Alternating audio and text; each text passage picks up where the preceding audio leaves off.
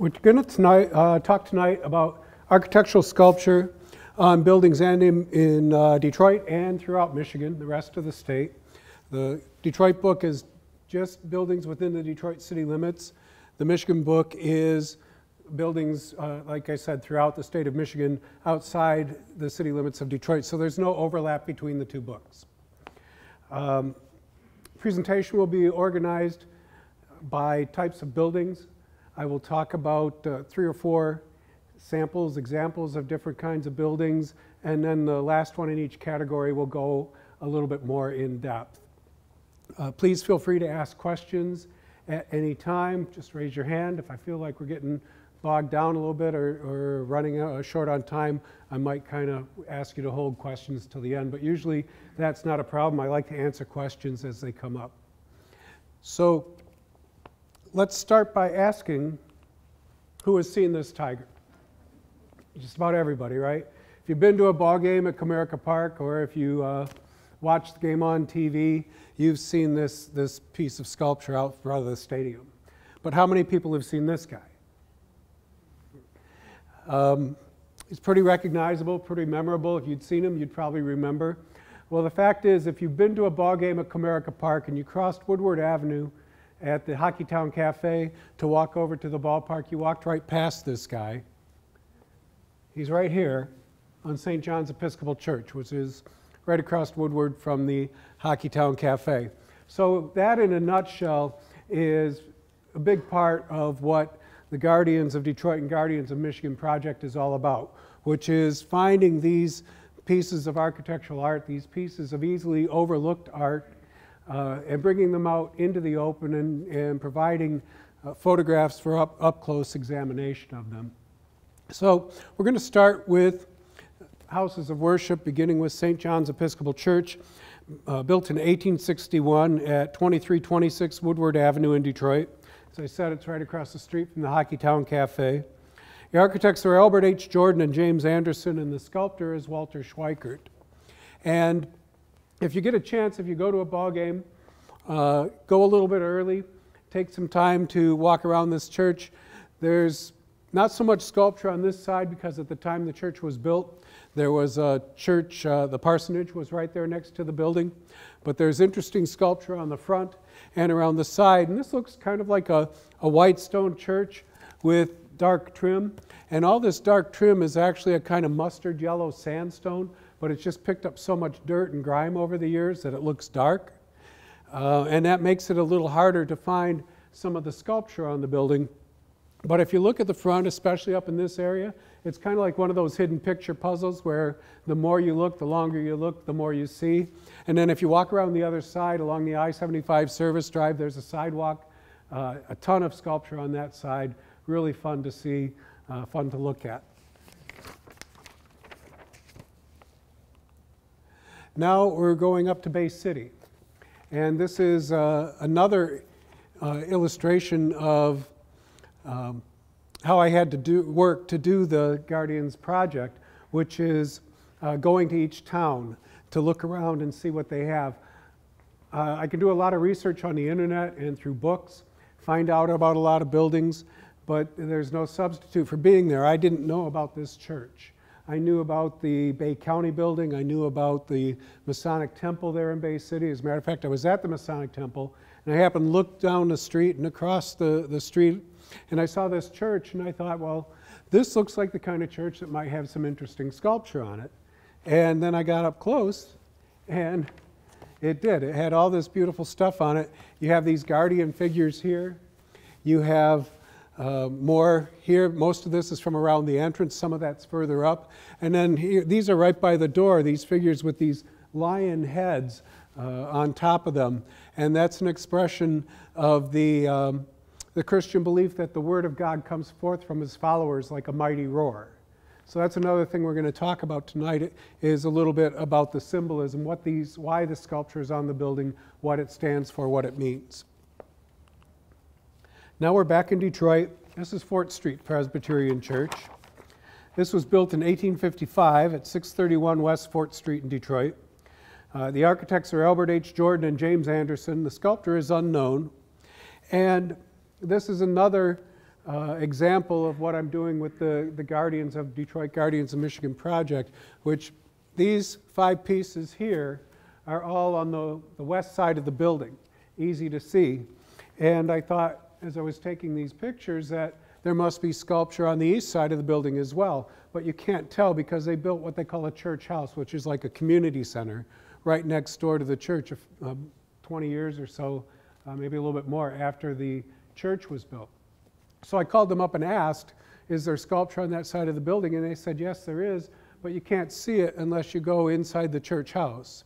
And so I got permission to do that, went into the church house, go up to the second floor, look out the window, and you can see a couple of these guys here, but you can't see them all unless you climb out the window onto the roof and walk around, and you can see some more. But to see all of them, you have to go to one end, to the um, uh, south end of the, the roof, and then there's a wall with a steel ladder bolted into it. And you climb up that ladder, and you can see the last couple pieces.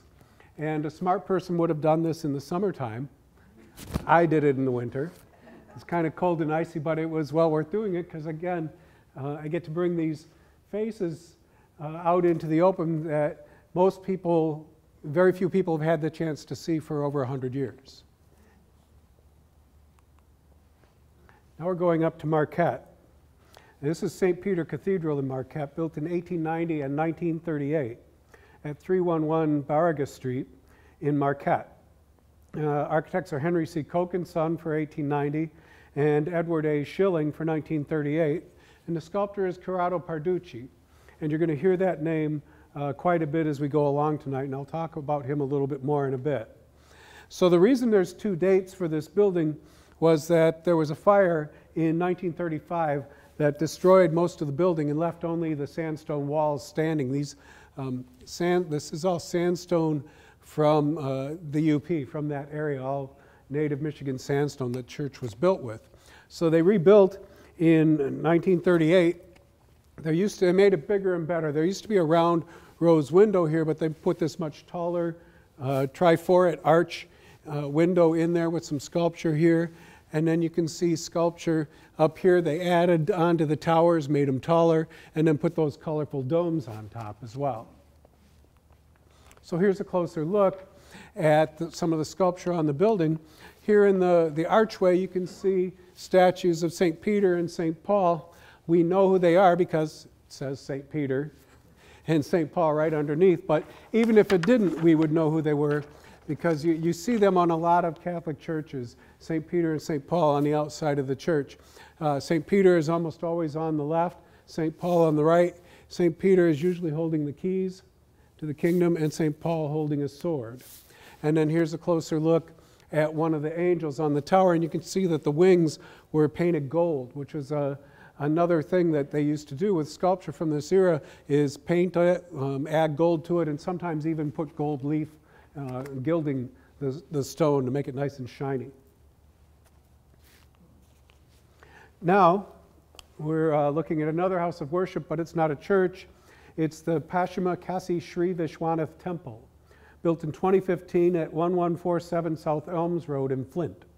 And the architect and sculptor are unknown, but they were, it was, uh, the sculpture was done and the building was designed based on uh, traditional guidelines from ancient Hindu texts. And you have this tower here called a Gopuram with all these niches for deities in it. And there's 126 different deities on the tower. There's deities on all four sides. And this is a, a Shaivas temple where there's different sects to Buddhism, different, or excuse me, Hinduism, different types of Hinduism. This is a Shaivas temple where they worship Shiva as the, the main god as the one ruling God. And we would look at this and think of this as a polytheistic religion with all these different deities on the building, but to them, these, uh, these deities are all uh, aspects or avatars of Shiva, uh, sent to earth to perform a, a, certain mission or a certain job or to be there for a certain purpose. So, in, in some ways, it's still a monotheistic religion. And now we've come back down um, to uh, Bloomfield Hills, Michigan. This is Christ Church Cranbrook, built in 1929 at 470 Church Road in Bloomfield Hills. And the architects Oscar H. Murray of Bertram Grosvenor Goodhue Associates. They were a, a firm that specialized in churches, uh, especially along the East Coast and out into the Midwest. Um, George Booth was uh, married a woman named Ellen Scripps. Ellen Scripps was the daughter of the Detroit News founder James Scripps, and George Booth succeeded him as publisher of the Detroit News. And then he also built a chain of newspapers around the Midwest and another chain of newspapers throughout Michigan. So he and Ellen were two of the richest people in the Detroit area.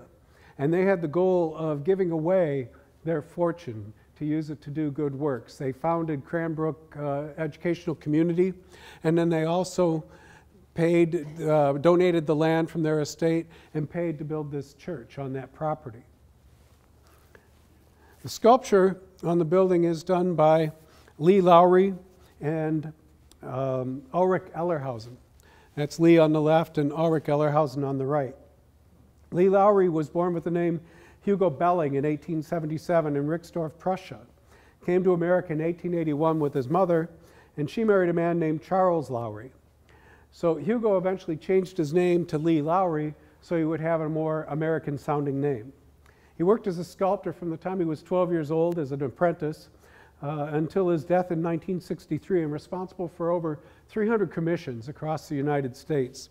Uh, his masterwork is probably the Nebraska State Capitol, which has a very nice program of sculpture, multiple sculpture on the outside of the building. And then uh, Ulrich Ellerhusen was born in Germany in 1879 and came to the U.S. in 1894. And he studied under Lorado Taft, who was one of the more popular American sculptors of the time, and he also studied under Gutzon Borglum. Does anybody know who that is? The man behind Mount Rushmore studied with him, and he also studied with Karl Bitter, who is a very well known uh, architectural sculptor uh, in uh, um, Ohio and New York. So they sculpted these figures on the outside of the building, 18 figures on the church that were known as the Dawn Men, selected by church leadership because they brought the light of truth to the world. So these are all from the north side of the church, and they were all selected uh, because of their religious beliefs. Uh, they advanced religious beliefs and principles. So this is uh, Phillips Brooks, a theologian, wrote the hymn uh, Christmas Carol, O Little Town of Bethlehem. So Abraham Lincoln here, William Penn, founder of the Pennsylvania colony, uh, helped write the Constitution. This is John Wycliffe, the uh, first man to translate the Bible into English, so you can see him holding his Bible here, his English Bible.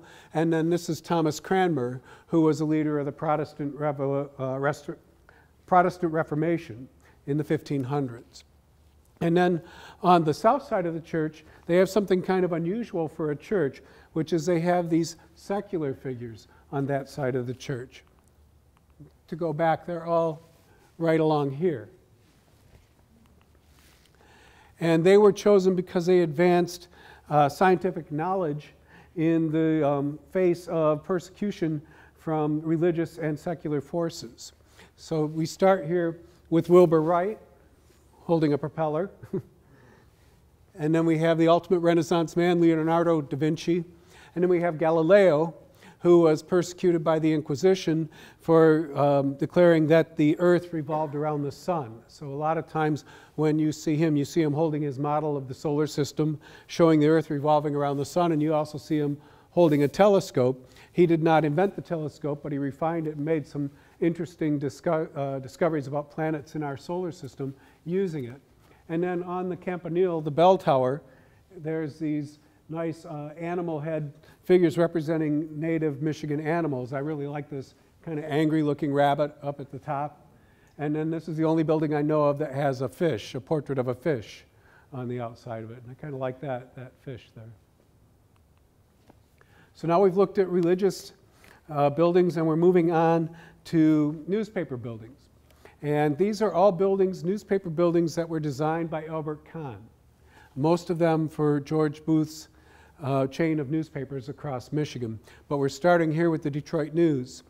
And uh, this building was built in 1917 at 615 West Lafayette Boulevard in Detroit. The, uh, as I said, the architect's Albert Kahn. And the sculpture on the building is attributed to Alessio Ricci and his partner at the time, John Donnelly. So there's this, these great cartouches up at the corner, and then some statues representing men involved with the history of printing. And then these spaces between the windows are called spandrels. And on those spandrels, there's various uh, printer's marks of various printers. So here's a, a look at the uh, cartouche up at the corner. There's eight of these, all the same on the building, two at every corner. At the top, you have the owl representing knowledge and wisdom. And then on the shield, you have an American eagle holding the Constitution, representing freedom of the press. And then you have these printer's marks, which are like logos that uh, for the printers, they had to be registered with the king or the prince or the ruler of the country or the city state or the state that they lived in. You had to have permission from the ruler to print anything. And you had to have your printer's mark registered to show that, and then use that in your printed pieces to show that you had permission uh, to be able to be publishing these books. And a lot of times these printer's marks were based on plays on words, like um, this is the printer's mark of Christopher Froschover. Froschover in German, German means frog over. So you have the man sitting on the frog there. And then the two little frogs on either side represent his two sons who were in the business with him. And then down here we have the printer's mark of Aldus Manutius. His slogan was make haste carefully or make haste slowly. So you have the swift swimming dolphin wrapped around the anchor. And then uh, at the far side you have Johannes Gutenberg, the first European to uh, use the, the printing press and movable type in Europe. This building is now home to um, Quicken Loans offices. It's no longer a newspaper building. Now we're in Flint at the Flint Journal building. You can see it says Michigan State University. This is now home to the Michigan State University School of Internal Medicine. And you have some very nice pieces of work here over the windows, and then again in the spandrels you have printer's marks. So these pieces over the windows represent the history of transmitting uh, information through print. You have uh, a woman carving hieroglyphics into the walls. You have a, a man working with movable type, setting type. Uh, another man working on an uh, engraving or an etching because at one time you couldn't, you know, they didn't have photographic processes for printing pictures in the newspaper, everything had to be turned into line art. So that's what he's doing. And then you have a woman working, uh, writing on a scroll with pen and ink with a quill pen. And then here's some more um, printer's marks. And these are kind of more cryptic with uh, more based on initials than um, puns and wordplay. Now we're looking at the Jackson Citizen Patriot Building in Jackson, Michigan. And this was built in 1927 at 214 South Jackson Street. Architect's Albert Kahn again. All of these newspaper buildings designed by Albert Kahn. And the sculptor is Corrado Parducci. So it's called the Jackson Citizen Patriot because one of the things that Booth would do was go into a town and he would buy the, the most popular, the strongest newspaper business in the town. And if there was more than one that were both popular and strong, he'd buy both of them and merge them because he felt that the competition in the newspaper industry not only was it bad for him, bad for business, but he said that it was bad for the populace. It only served to upset and confuse the populace and, and the people. And as long as someone like himself, who could be trusted to be fair and impartial when reporting the news, was in charge, uh, what could go wrong, right? So you see up here, uh, cartouche, we're going to take a closer look at that, and then these figures on either end. This is the state seal of Michigan, surrounded by protective uh, grotesques, and then owls on either side representing wisdom, and you can see that's also on the cover of the Guardians of Michigan book. And then you have from either end of the building uh, a figure writing on a scroll with a pen representing the people that do the intellectual work of writing and reporting and editing the news. And then you have a man with a mortar and pestle for grinding ink, representing the people that do the physical labor of printing and distributing the newspapers. And if you're wondering why there's Egyptian figures on a Midwestern newspaper building, it's because in uh, 1922, Howard Carter had discovered King Tut's tomb. So there was a big craze in America, uh, Europe and America, uh, for everything Egyptian. So this was a very stylish choice for this building. And that's now an apartment building, by the way. And now we're up in Muskegon, and this is the Muskegon Chronicle building. And you, you can see, again, uh, designed by Albert Kahn, um, sculptor by Corrado Parducci, sculpture by Corrado Parducci. And you can see all designed by the same person, but now we've been looking at buildings in chronological order. They all have kind of a Romanesque feel to them, but as we advance, they're getting more modern looking, uh, more streamlined.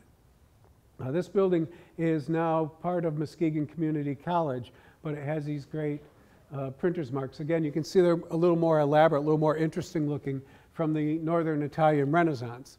And this uh, group of printer's marks also illustrates one of the problems with doing research, one of the difficulties with doing research about these buildings, because I have a lot of print and uh, online resources for finding who's, uh, who, who these printer's marks represent, but I could not find these two. I could find ones that had symbol, similar symbolism on them, but they all had different letters.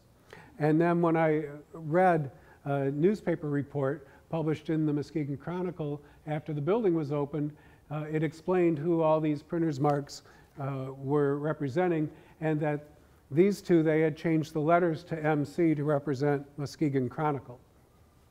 So one of the, the tricky parts about doing research for this type of building. And now we're in Ann Arbor looking at the Ann Arbor News Building. It's now the University of Michigan Credit Union.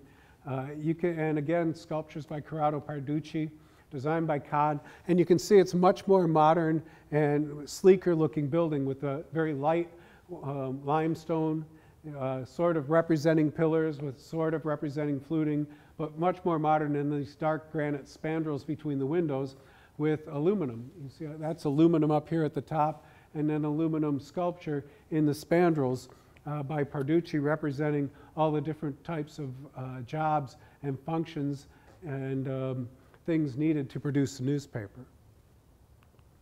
So we're going to take a little step back in time now and look at the Kalamazoo Gazette building, which was built in 1925, not quite as modern as the last two buildings we looked at. This is at 401 South Burdick Street in Kalamazoo, and the sculptor again is Corrado Parducci.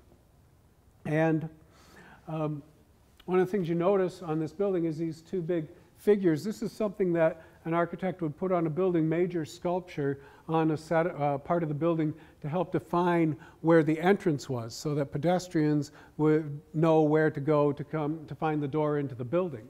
And you can see there's no door here, just windows. And that's because about 20 or 30 years after it was built, the building was expanded and added onto, and the entrance was moved around the side. But they left these figures here uh, in place. So there's a closer look. On the far side there is a woman holding a pen and a book representing recording of history, recording of the news. And then on this side, a woman holding an hourglass representing the passage of time. And then you have these gargoyles here from uh, near the roof line, which uh, add some layer of spiritual protection to the building. And then more printer's marks, again with the play on words. This is the printer's mark of Christopher Miller. So you have a windmill. And then this is the printer's mark of Andrea Alciato with uh, his slogan must have been make haste quickly because he has the swift swimming dolphin wrapped around the fast moving arrow. And then this building also has something interesting on it, which is these uh, kind of unique animal allegorical reliefs representing the newspaper's role in society. So here up, up here in the corner, you see what's called a caduceus which we kind of look at and think of that as a medical symbol, but it's actually, actually the staff of the Roman god Mercury. And it's, uh, he was the, not only the messenger god, but he was also the god of commerce. So when you see that symbol on a building, it represents commerce. And then you have this kind of uh, evil looking wolf in the same relief, and this represents the newspaper's role to protect its readers from unscrupulous businessmen and unscrupulous business practices. And then you have an owl fighting with a snake, representing the triumph of knowledge over the treachery of ignorance. You have a lion guarding the uh, lamp of knowledge. And then you have a wolverine with a fish in its mouth, representing the newspaper's role to help safeguard Michigan's natural resources. So now we're going to go from newspaper buildings to skyscraper bank buildings. And this is the Second National Bank in Saginaw, Michigan, built in 1925 at 101 North Washington Street. The architect's Wirt C. Rowland, and the sculptor again is Corrado Parducci. There's that name again. Uh, we'll get to him in, in a little bit. Uh, but I want to talk a little bit about Wirt C. Rowland first. Uh, I think of him as Detroit's other great architect. Everybody knows Albert Kahn, everybody's heard of Albert Kahn, and rightly so.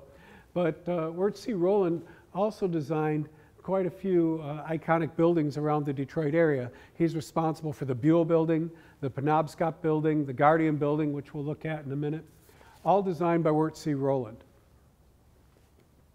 You look at this building, and you can see the walls have kind of a shine to them. They seem kind of shiny and smooth, and that's because that's not stone on the outside of the building. This was a fairly new building material for the time for use on skyscrapers, and that's uh, terracotta. This is all glazed terracotta, and it's uh, glazed with a textured glaze to make it look a little bit more like stone. Terracotta had the advantage of being less expensive and also easier to clean and maintain than stone. And this piece of work here, this very intricate piece of sculpture, shows another advantage of working with terracotta in that these didn't need these figures didn't need to be carved; they could all be molded. The sculptor would create um, a figure out of clay, cast it in plaster, and then they would um, mold it. And these figures here, this is from up at the corner. They run all the way along the cornice of the building. These little guys, and these li- these eagle heads in between. And if you're wondering, one of the questions I get asked a lot is why do they put such interesting sculpture way up high at the top of these buildings where it's really hard to see? And the answer to that question is because it was a, a, transitional time in architecture. And all these architects working at this time, they were mostly trained in European styles and European traditions of architecture. And then they're combining their training to, to um, with the very American concept of the skyscraper building. So their training called for them to put ornamentation up at the top of the building, even though now with the skyscraper, it's 13 stories up and very hard to see from ground level. So here's a closer look at some of the sculpture on the building. You have kings representing the wealth and power of ancient kingdoms. You have griffins who were guardians, mythological guardians of treasure. Uh, over the doorway, you have the shield from the state seal of Michigan with Tuebor, meaning I will defend, with the fish on either side, again, uh, referencing Michigan's natural resources. And then you see the caduceus here, so you know this figure represents Mercury, represents commerce. And then we have uh, one of the protective animals. There's a series of protective animals in the archway over the doorway. So I told you we'd talk about the Guardian Building. This is the Guardian Building in downtown Detroit uh, built in 1929 at 500 Griswold Street. The architect is Wirt C. Rowland, and the sculptor is Corrado Parducci. And this is Corrado Parducci in a closer look at one of the guardian figures on the outside of the building. Corrado Parducci was um, extremely hardworking and prolific. He came to Detroit in 1924 to oversee sculpture on a building that he had modeled sculpture for. Uh, Albert Kahn brought him in the, this work was being done in the middle of winter. Uh, Parducci, being a young man, was uh, the guy he chose to go up on the, the scaffolding and super, supervise the stone carvers. Uh, the way that Parducci worked and a lot of the architectural sculptors worked at this time was very few of them actually carved in stone or sculpted in stone. Parducci would make a clay uh, model about this big to show to the architect to make sure it suited what the architect wanted to do. And then he would make a life size or full size um, sculpture out of clay. And then that would be cast in plaster, and the plaster cast would be taken to the stone yard or, or to the building where stone cutters would actually do the work of carving it out of stone. I want to mention, too, that Rowland saw this building as a, a cathedral of finance. And part of that was because he envisioned and hired an army of craftsmen to work on the building.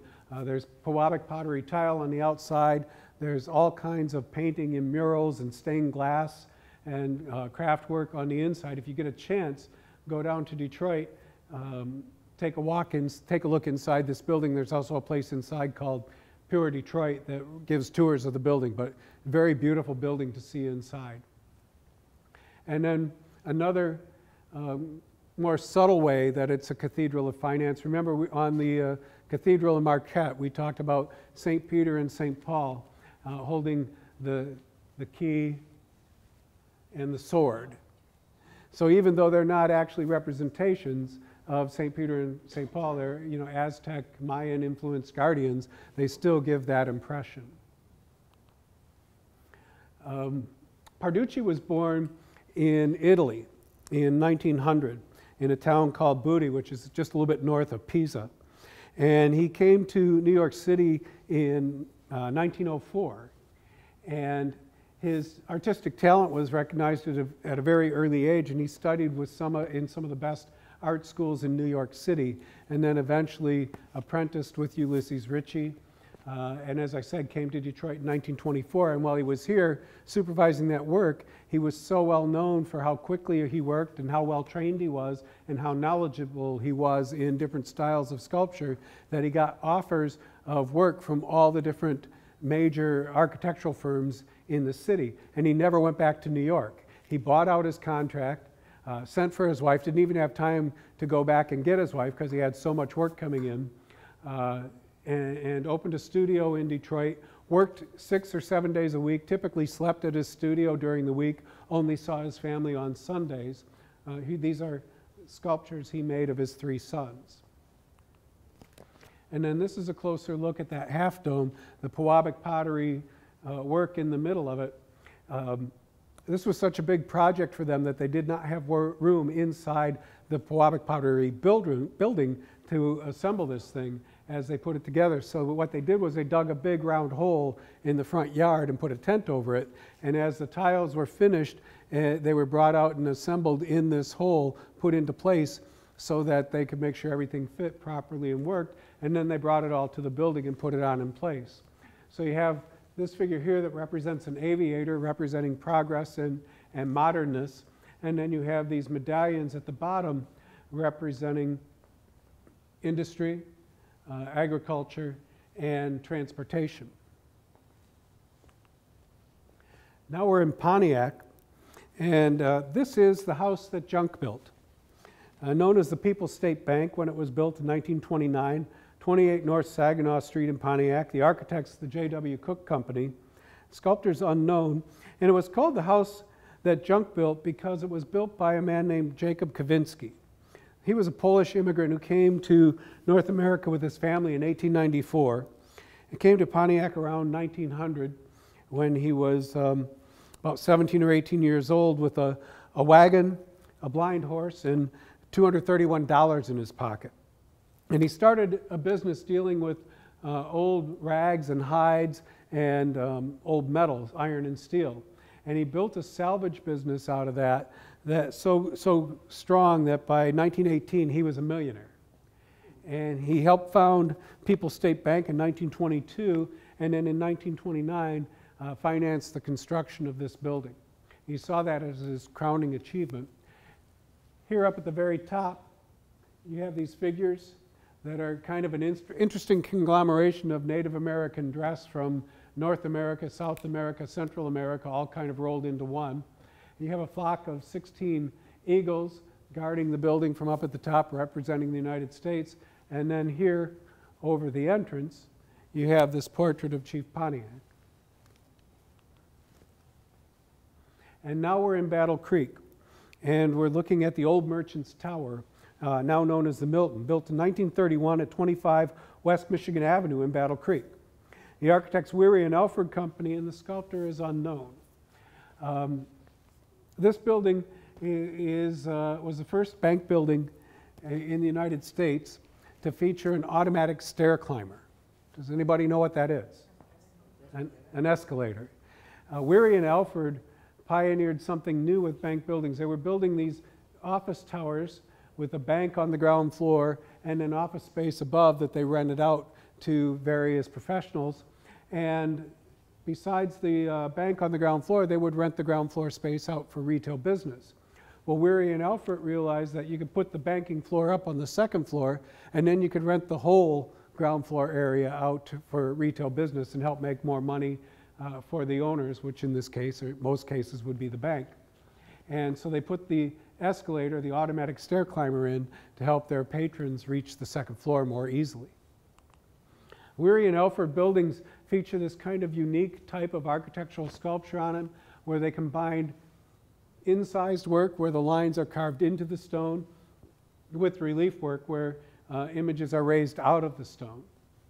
So you can see that here. If you see this type of work on a building in Michigan, a lot of the time that will be a Weary and Alford designed building.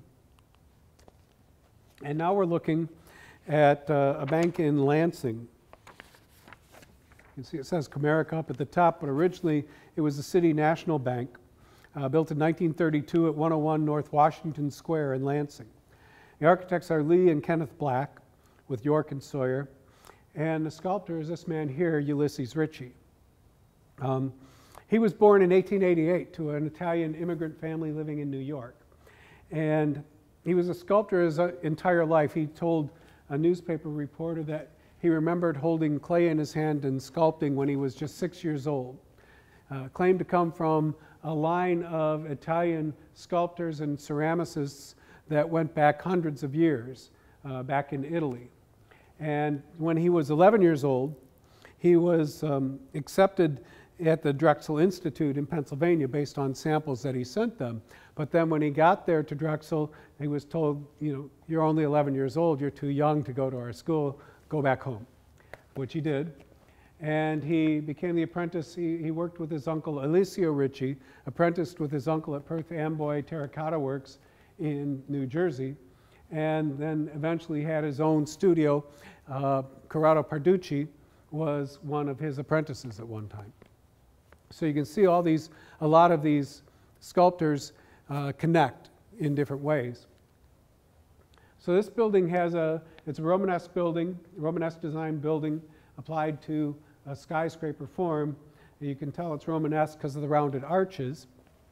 And it's um, got an interesting program of sculpture on it representing the, what goes on in the building and uh, representing the city of Lansing. So here for example, is sculpture on the one side of the building representing American coins, American money, where you have the Liberty dime and the, or, or the Mercury dime and the Liberty quarter or dollar, and then you have the eagle.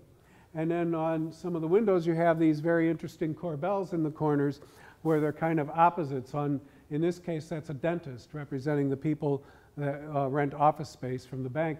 You can see he's holding a pair of pliers in one hand. And then uh, on the other hand, on the other side of the window, there's a patient with a bandage wrapped around his head and a swollen cheek. There's another window that has a um, uh, police officer on one side and a bank robber on the other side. It's kind of fun stuff on the building. And then this is a representation of the uh, protective Egyptian goddess Bastet, some of the sculpture near the doorway. And then here we have uh, a seahorse. And why is there a seahorse on a bank building? Uh, this is fairly big. It's a flagpole holder, held a 30 foot long flagpole. Seahorses represented good fortune and power. So it's a good thing to have on a bank. Uh, and then you have the elephants on either side of the doorway, elephants representing strength and stability. And the bank actually used the symbol of the elephant on its letterhead for a while. You have a man holding the Capitol Dome representing Lansing's role as the state capital of Michigan. And then here you have uh, kind of an interesting animal. It's, uh, it's a wolverine carved by somebody who had never seen a wolverine, holding some kind of animal in its mouth, representing Michigan's natural resources. And then you have inside the archway, looking straight up, this man representing the law with bulls on either side, representing a profitable stock market. Uh, you have a merchant or a doctor here holding a thermometer, uh, a merchant holding a cash register, and then over the employees' entrance, you have these dragon figures uh, warding off uh, evil spirits and um, bad employees. Uh, and the good employees can come in, I guess. So now we're done with bank buildings, but we're going to stay in Lansing and start looking at some school buildings. And this is the J.W. Sexton High School building, built in 1943 at 102 McPherson Street in Lansing. The architect's Warren S. Holmes Company, sculptor again is Corrado Parducci. As a matter of fact, uh, like I said, this was built in 1943. This was one of the last really elaborate um, commissions that Parducci had because styles were changing. And see, this has kind of an Art Deco feel, a more modern feel to it. And uh, building styles after the, the 1940s, and especially after World War II, very rarely called for any kind of architectural sculpture on them. These are some reliefs from around the doorway. You have students engaged in athletic pursuits and then other students engaged in academic pursuits. And then on the outside of the auditorium, you have these students uh, performing. Really nice piece of work there. Now we're going all the way up to the Upper Peninsula, almost as far west as you can go in the Upper Peninsula without being in Wisconsin. This is from the town of Wakefield. This is the Wakefield High School Gymnasium, built in 1932 at 715 Putnam Street in Wakefield. And the architects are the Warren S. Holmes Company with N.A. Nelson, and the sculptor is unknown. And here's a closer look at some of the, this nice triptych piece of sculpture over the entrance where you have uh, representations of the kind of activities, young people engaged in the kind of activities that would go on in a gymnasium where old guys like me uh, sit in the corner and read books while all that's going on. This is kind of an interesting style of sculpture that you see on several different school buildings across the uh, UP, all designed by the same company. I don't know who the sculptor is. I wasn't able to find that out. So I don't know if it's the same sculptor or it was just the way the architect designed it. But we have these pieces here from Ontonagon and Ishpeming and Negaunee. And you can see there's some variation between them, even this one here where you have the chemistry student. The same thing, same theme up here, slightly different, but very similar. Now we're down in Detroit and we're looking at Old Main, the Old Main building on Wayne State University campus, which was built in uh, 19 or 1896 as Detroit Central High School. Uh, 481, 4841 Cass Avenue in Detroit. The architects Malcomson and Higginbotham, and the sculptor was Albert, Alfred E. Nygaard. So you have a sculpture concentrated around the entrance. You can see this band of sculpture here that has portraits, uh, 10 different portraits of uh, historical figures. There's a closer look at two of them, Goethe on one side and Galileo, a little bit different interpretation of Galileo. You have owls at the corners. They kind of wrap around the corners, representing knowledge and learning. Uh, some figures from near the entrance. And then one of the, the neat things about this building is on the south side, the south entrance, there's uh, a young man and a young woman, like a, a, a teenagers on the one side. And then on the north side of the building, there's the mature man and woman. So it represents how you grow and mature as you go through the halls of the high school and uh, learn and become, hopefully become an adult by the time you're ready to graduate. Now we're looking at the Olin Memorial Health Center, uh, not a school building per se, but on the campus at Michigan State University, with um, was built in 1939 at 463 East Circle Drive in East Lansing. And then here, uh, smoking a cigarette, is the man that did the sculpture for the health center, uh, Samuel Cashwan. So on either side of the door, we have these reliefs representing uh, the history of medicine. And then up here on either side of the uh, nameplate of the building is the Greek goddess Panacea, the goddess of medicinal cures. And then on this side, Hygeia, the goddess of uh, uh, cleanliness and good health. Here's a closer look at some of the sculpture on the building. Um, we have magical cures, uh, herbal remedies, uh, diagnosis where people meet to discuss and figure out what's wrong with their patient. And then a little more modern, we have the x-ray. And this is uh, some of those, what those panels look like um, uh, on the either side of the doorway. And then this is a clo- little closer look at Hygeia. Now we go from Michigan State to the University of Michigan. And this is the Law Quad at the University of Michigan. Uh, it took 10 years to build all these buildings um, from 1923 to 1933. It's located at 625 State Street. The architects York and Sawyer. The sculptors are Ulysses Ricci and his partner at that time, Angelo Zari. So this is a, a massive complex of four interconnected buildings. You have the Lawyers Club, which is actually three buildings, the, the Lawyers Club itself and the dining hall, and then the uh, Lawyers Club dormitory.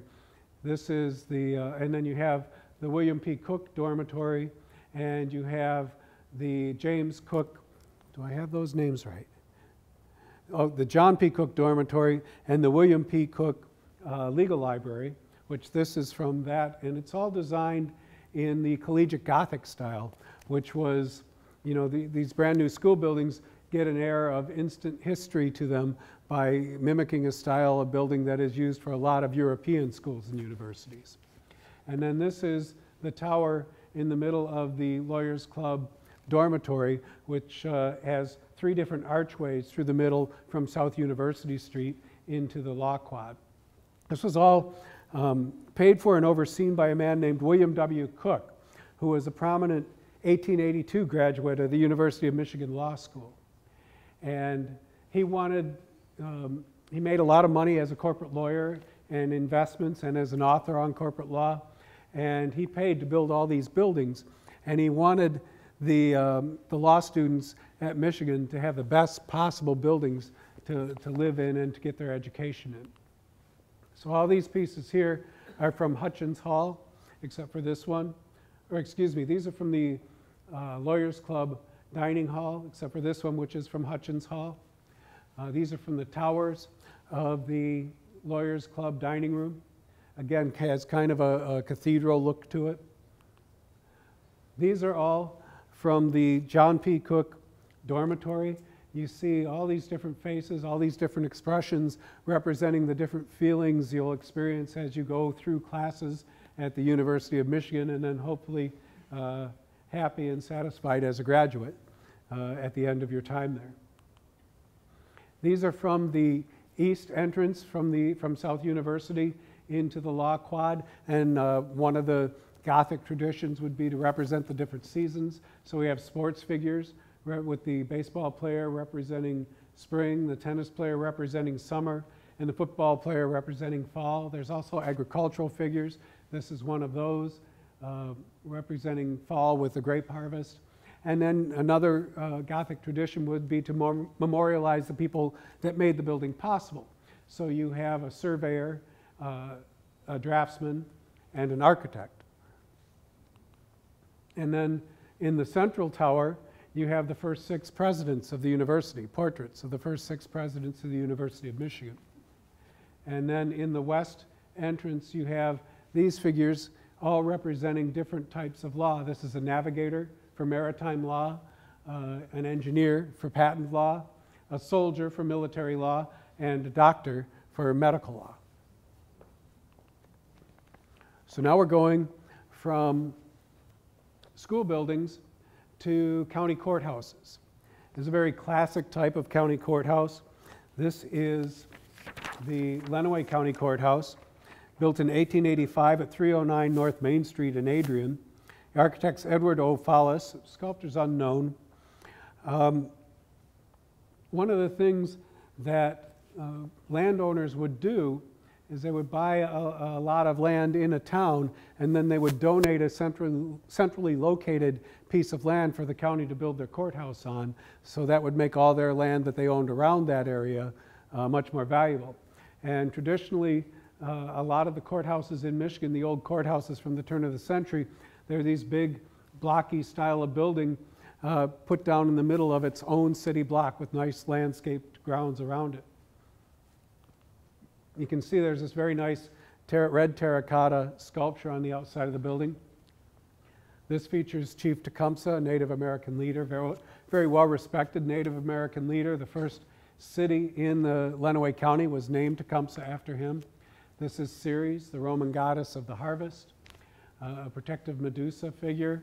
And then over the doorways, you have uh, the symbols of war, the tools of war, and the tools of peace. It's another one of the same type of courthouse. This is the Hillsdale County Courthouse, uh, built a little bit later, built in 1899, 14 years later, at 29 North Howell Street in Hillsdale. The architect's Claire Allen.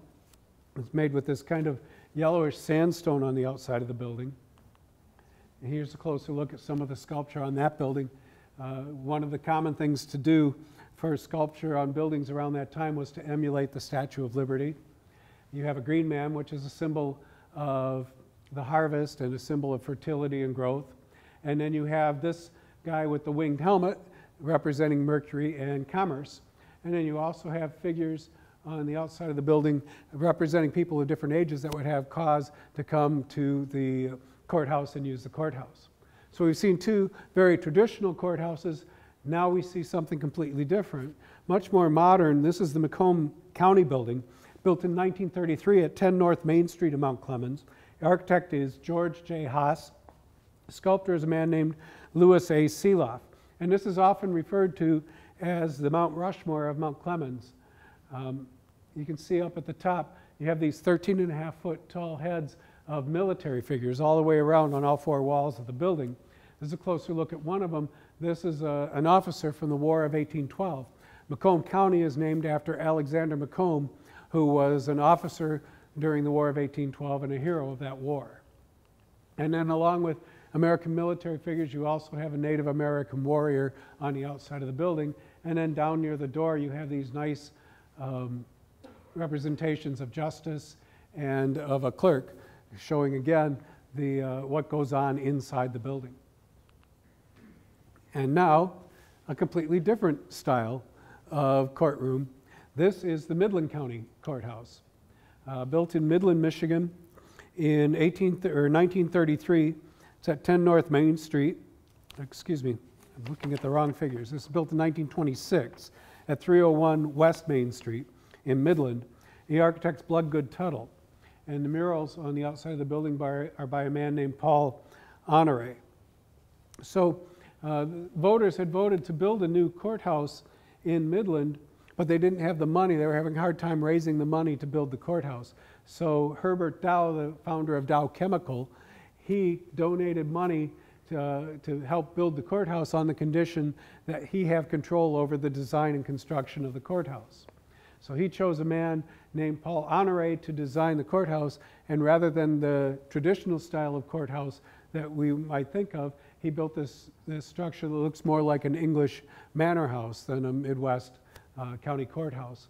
Here over the main entrance, you have this cartouche featuring the seal of the County of Midland with a, a tree representing the lumber industry, a cornucopia representing agriculture, and then a well for extracting chemicals from the ground representing the chemical industry, which was really the, the basis for most of the jobs in Midland at that time, and uh, in many cases still is.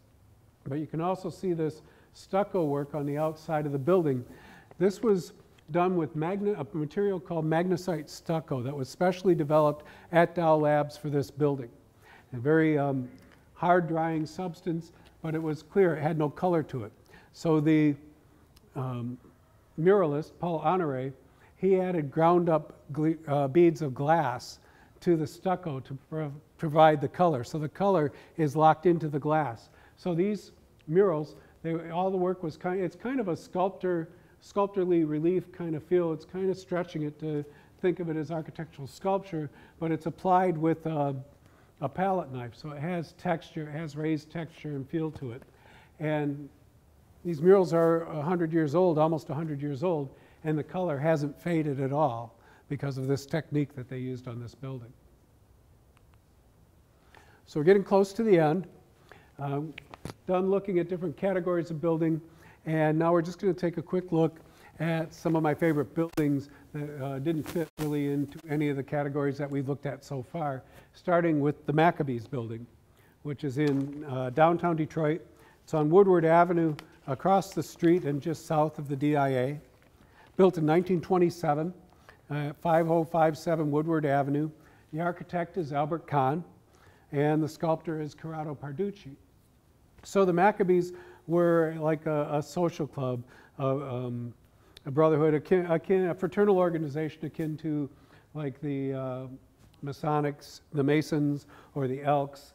This was a time when those kind of organizations really thrived.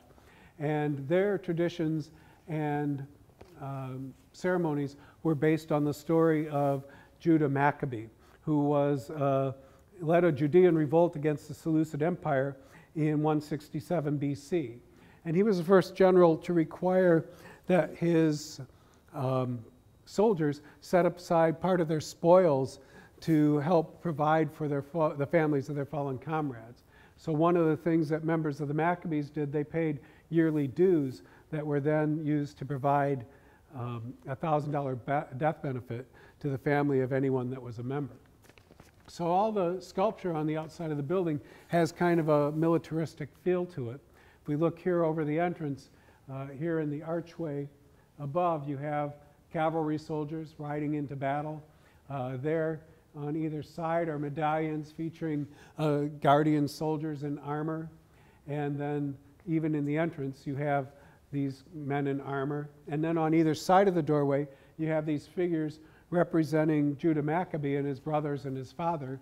There's a closer look at some of them. They're all about this tall. And it's just one of the things I really like about this building is the, uh, the detail in the work. I think this is some of uh, Parducci's finest work in the Detroit area. But there's so much sculpture on the building, this uh, copper grate over the doorway, and then you have this portico up above the entrance with all this great sculpture on it. And then again, more protective figures uh, all around the outside of the building. The man um, carefully guarding the skyscraper, the building, another man with a bow and arrow defending the building, a man with a sword guarding the vault. So a lot of, lot of interesting sculpture on that building. Uh, now we've moved on uh, to Grand Rapids.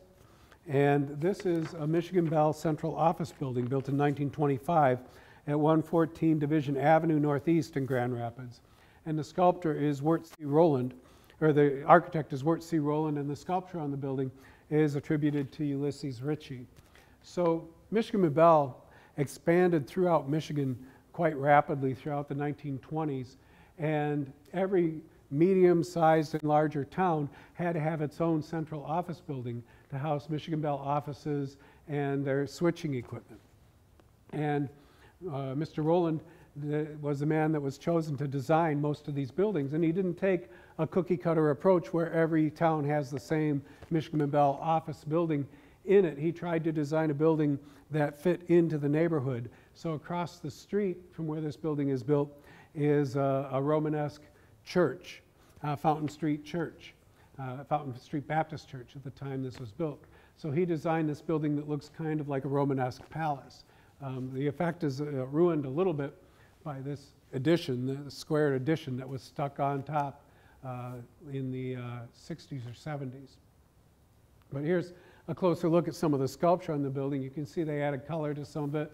And one of the reasons I like it is uh, these two figures here, especially, uh, they remind me of the book Where the Wild Things Are. And I wonder if maybe uh, uh, Wirt Rowland and Maurice Sendak and um, or Ulysses Ricci didn't all work from the same reference material. Uh, this building also has a very gruesome ghost story attached to it that um, we really don't have time to go into now, but it can, if you want to know more, it's on page 171 of the Guardians of Michigan book. And then we're going to finish up by looking at the uh, Ford Motor Company Engineering Laboratory, which is, uh, built in, was built in 1924 at 21500 Oakwood Boulevard in Dearborn. Architect again is Albert Kahn. Uh, work on the building, the sculptural work is attributed to Ulysses Ricci. So the, the Ford Motor Company was established in 1903 on the basis of a motor car that Henry Ford developed working in his garage with one or two assistants. And by um, 20 years later, when the company broke ground for this building, this engineering laboratory, this was going to house 1,800 of the company's 100,000 employees. So you can see how fast the Ford Motor Company and the automobile manufacturing took off and built and grew during those 20 years. This has some very nice uh, high relief, very high relief sculpture, kind of unique for a building on the outside of it. Here's a closer look. On the north side of the building, you have these uh, kind of Greco-Roman goddess and god figures representing uh, commerce. You can see she's holding a caduceus again, and they're sitting on a Model T Ford uh, with an owl behind them, a protective owl providing wisdom. And then on the south side of the building, uh, representing agriculture, you have these two figures sitting on a Fordson tractor with the American eagle protectively guarding them. And then uh, the Ford Motor Company also made aircraft and ships. So you have these figures representing aviation and sailing. And then uh, this statement over the entrance about the importance of the job that goes on inside. And then this figure here on the left, this is a closer look at that figure so you can see just how almost totally released, what high relief these figures are in, how, how it's almost totally released from the background. And then you have a figure here representing wireless communications, another one representing pharmaceuticals, and another one re- representing trucks and truck transportation and commerce. So that's going to wrap it up. I want to talk a little bit about the books. Uh, Guardians of Detroit is uh, 330 some pages, 750 photographs, uh, all buildings from inside the city limits of Detroit. Guardians of Michigan is 470 pages, 1,200 photographs, all buildings outside um, the, state, the city of Detroit. And as I mentioned, there's no overlap between the two. And if you're interested, whether you want to purchase a book or not, please come up, uh, take a look uh, after I finish up. If you have any questions that we don't get answered tonight, uh, you can visit guardiansofmichigan.com. That's the website for the books. And guardiansofmichigan at gmail.com if you want to email me and ask me any questions. Uh, I also do tours and I have other events, and there's a schedule of events um, posted on the website. Thank you all for coming. I'll be here as. Um, uh, be here to answer questions or, or to sell books if anybody's interested afterwards.